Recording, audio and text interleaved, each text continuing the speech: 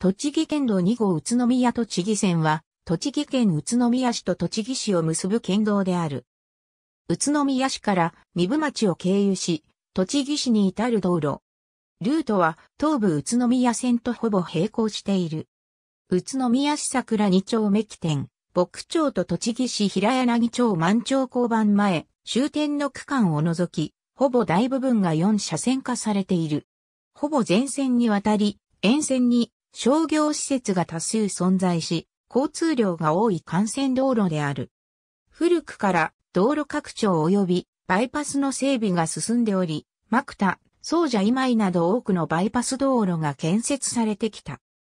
栃木市南は、平柳町交差点から川面交差点まで、栃木バイパス、及び川面交差点から、栃木県道11号栃木藤岡線、栃木県道9号佐野古賀線が連結しており、さらに、埼玉県加須市の旧北川辺地区にて、国道354号とも通じているため、本県道とこれらの県道、国道を合わせ、栃木県宇都宮市から茨城県古河市間を並行する国道4号の裏道的な役割も果たしている。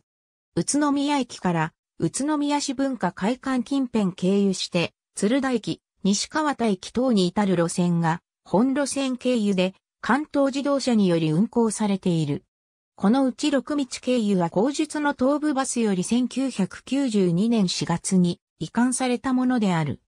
かつては本路線にて宇都宮から独協医大病院、栃木までを結ぶ長距離路線が東部バスにより運行されていたが、並行する東武宇都宮線の存在やモータリゼーションの影響もあり、現在は廃止されている。交差する道路の突起がないものは、指導、聴導、ありがとうございます。